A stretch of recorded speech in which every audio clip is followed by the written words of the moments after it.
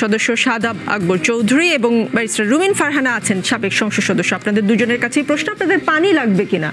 পানির বোতল কিন্তু আছে। হ্যাঁ, আপনার ওখানে? পানি লাগবে? পানি? বঙ্গবন্ধু বলেছিলেন আর যদি একটা গুলি চলে আর যদি আমার লোকের উপর হত্যা করা হয় তিনি হুঙ্কার দিয়েছিলেন পাকিস্তানি স্বৈরশাসককে। আজ বঙ্গবন্ধু থাকলে এই অবস্থা হতো?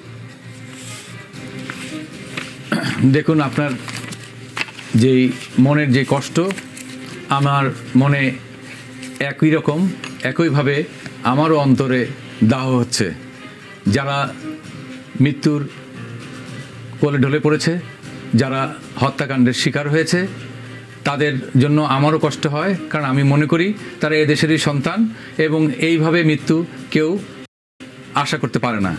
এবং পরবর্তীতে যে ঘটনাগুলো হঠাৎই আঠারো সালে পূরণ হয়ে যাওয়ার পরে, ফুল বেঞ্চ আবার এক মাস পরে এগিয়ে নিয়ে আসা হলো সেই সাত তারিখ থেকে এই মাসে নিয়ে আসা হলো মানে অগাস্ট থেকে জুলাইতে নিয়ে আসা হলো।